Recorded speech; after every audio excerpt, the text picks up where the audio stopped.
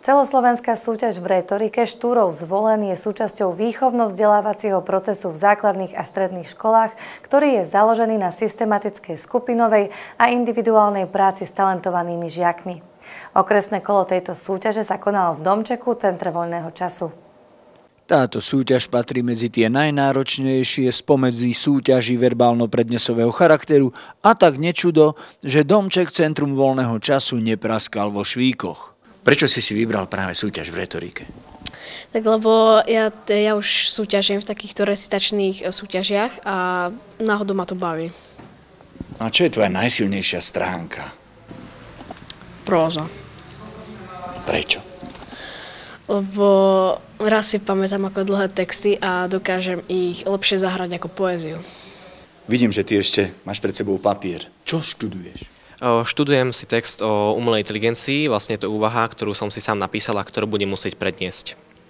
No ale ako viem, tak táto súťaž pozostáva z nejakého daného textu a jeho úpravy. Myslíš, že sa trafíš?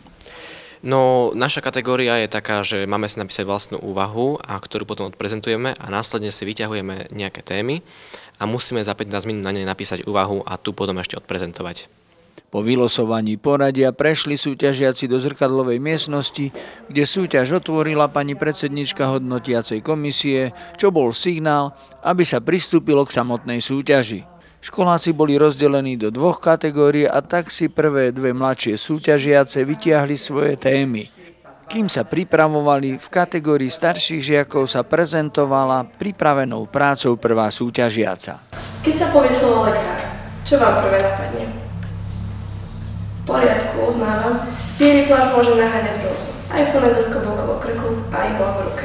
Ale to nie je na nic ďaleka všetko. V zápäti prišla na rad aj mladšia kategória. To ty si zjedol tie holubeka?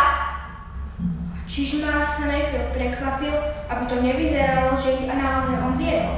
Máš za sebou svoju časť súťaže. Čo ti robilo najväčšie problémy? No tak všetko do toho zakompentovať, aj tie slova správne vysloviť, správnom útvare ich dať, potom tvár, ako sa mám tváriť, tak to mi robilo najväčšie problémy, pretože ako raz som sa sústredila na to, raz na to a nevedela som to dať dokopy. Aj ty máš za sebou svoju časť. Čo by si spravila ináč, keby bola tá možnosť? No, menej sa stresovať, pretože to ma tak vystresovalo, že potom som niektoré veci urobila inak, ako som chcela. Po skončení čakala na tých starších ešte jedna ťahaná téma. Po prezentovaní sa vyhodnocovalo. V mladšej kategórii sa na treťom mieste umiestnila Stella Hulová zo Spojenej školy Dudince. Na druhom mieste skončil Adam Tomáš Šimo zo základnej školy Eleny Maroty Šoltesové a prvé miesto s právom postupu do vyššieho kola obsadila Liliana Babiaková zo základnej školy s materskou školou Hontianske Nemce.